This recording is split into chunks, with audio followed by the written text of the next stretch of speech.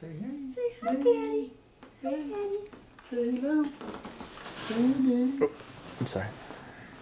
Hey, Daddy. Daddy. Hi, Two happy grandparents. Mm-hmm. Say hey. Hi, Daddy. Hey.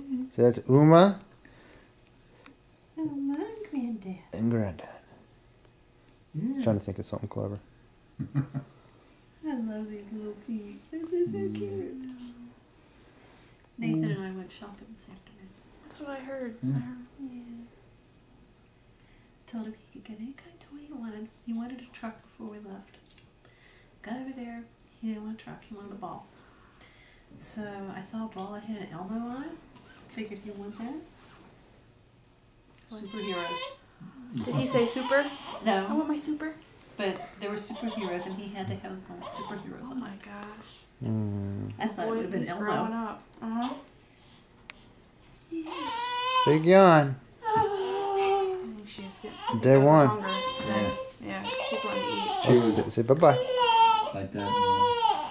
And if you don't mind.